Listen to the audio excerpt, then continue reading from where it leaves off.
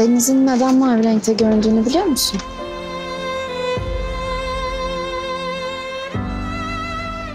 Su moleküllerinin ışığı emme ve yansıtma özelliğinden kaynaklanıyormuş.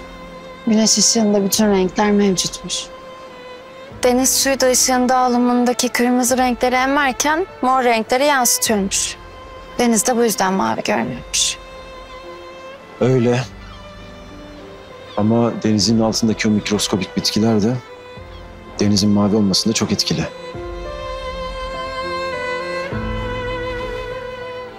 Öyle. Ama ben başka bir nedene inanmayı tercih ediyorum.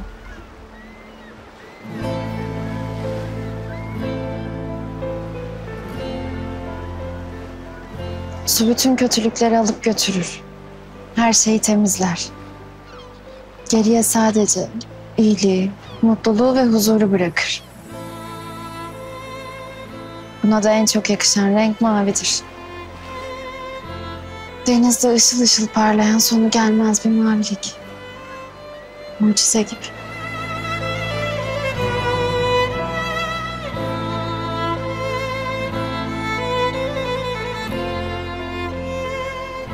Bir de sana prenses deyince kızıyorsun.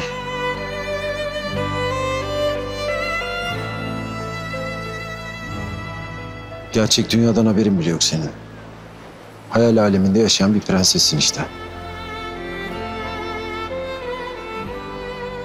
Kötülük hiçbir zaman silinip gitmez. Hiçbir zaman temizlenmez. Her zaman izi kalır.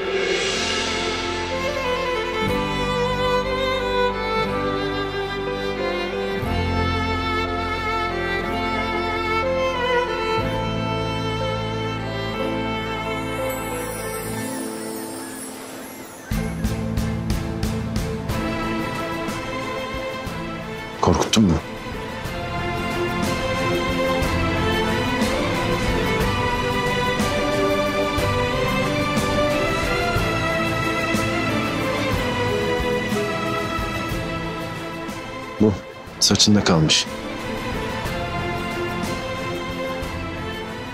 Ama sonunda kabul ettin korktuğunu. Güzel.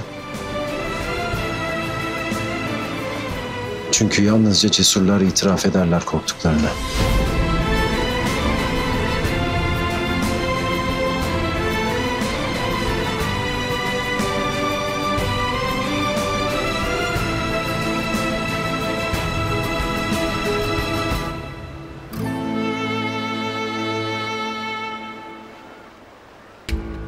Hadi gelin.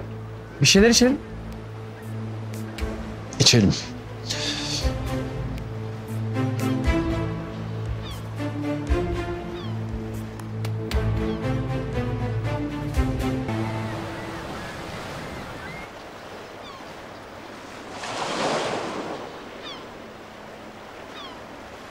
Gir koluma.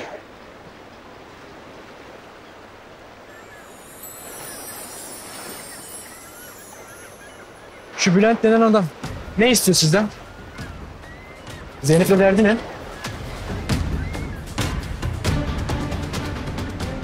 Anladığım kadarıyla özellikle sana zarar vermek istiyor.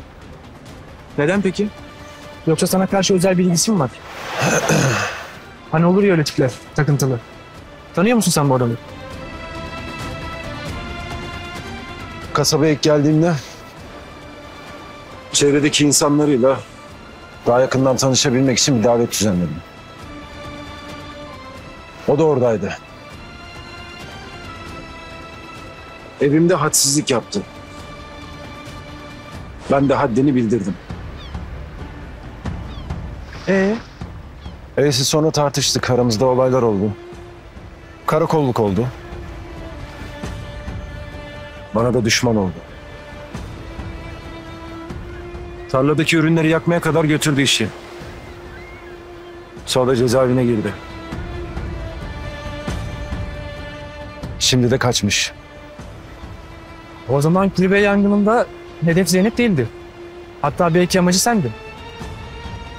Karaktersizin teki o herif. Cesurca karşıma çıkıp benimle hesaplaşamayacağı için etrafımdaki insanlara zarar vermeye kalkabilir.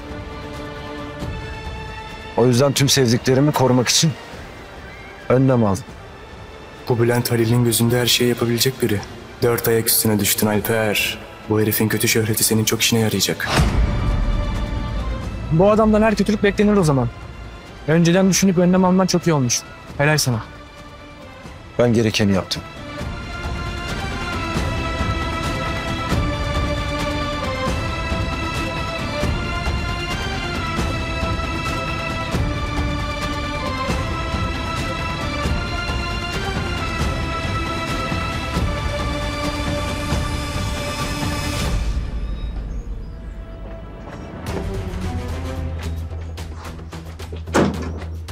Eren? Bir şey mi oldu? Telaşlısın. Halil'i görmem lazım. Yoklar. Alper Bey ve Zeynep'le tekneyle açıldılar. İç anlaşmasını kutlayacaklardı. Biliyorum da dönmüşlerdi diye düşündüm ben. Kötü bir şey mi oldu? Niye gerginsin? Ne yazık ki evet. Sıkıntılı durum var.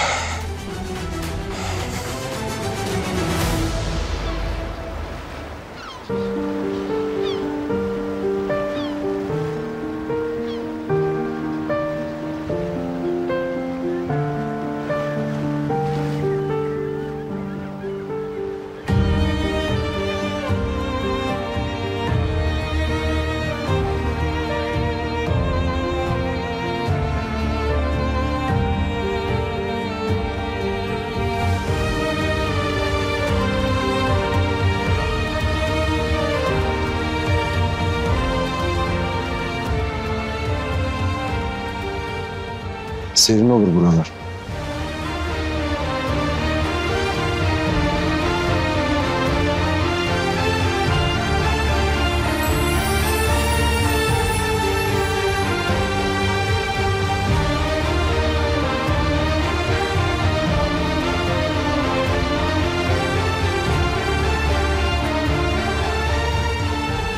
Teşekkür ederim.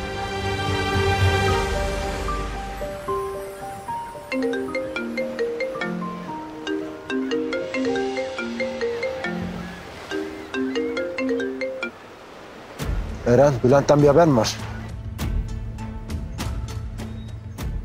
Çiftliğe geldim de dönmüşsünüz diye düşündüm.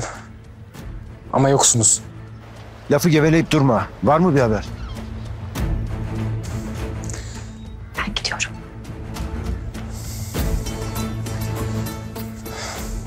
Bizim ürünler hakkında haber çıkmış. Ne haberi? Dur. Sana haberin başlığını okuyorum şimdi. Halil Fırat yetiştirdiği ürünlerde fabrika atık sularını kullanarak halkı zehirliyor. Fotoğraf da koymuşlar. Ne fotoğrafı, ne haberi? O şu gönder bana şu haberi bir gönder hemen. Tamamdır göndereceğim. Ne oldu? Kardeşim hayırdır? Bir durum mu var? Hakkımıza yalan haber yapmışlar. Güya biz tarlalarımızda fabrika atık sularını kullanıyormuşuz. Nasıl olur böyle bir şey? Bizim sularımız tertemizdir. Bir yanlışlık olmalı. İşte başlıyor eğlence. Şuna bak. Bir de fotoğraf koymuşlar. Benim adımı da etiketlemişler. Ne o bakayım?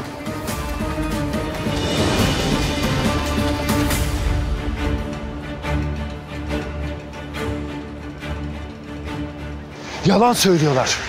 İftira atıyorlar. Suç işliyorlar resmen. Göz göre göre karalıyorlar seni.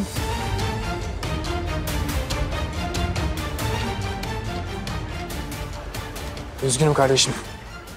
Ben üzülmüyorum Alper. Bu komplonun arkasında kim varsa onu bulup çıkaracağım. Ben öfkeliyim.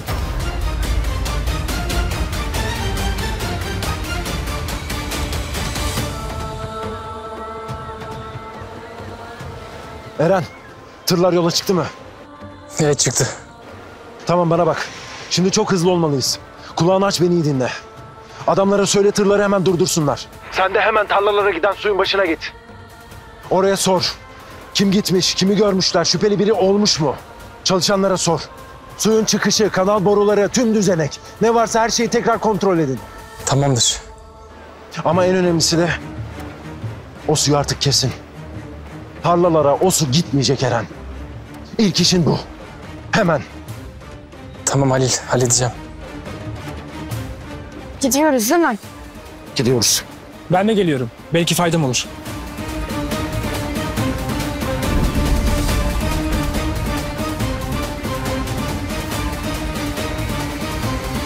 Daha fazla video izlemek için kanalımıza abone olabilir, ilk izleyen olmak isterseniz bildirimleri açabilirsiniz.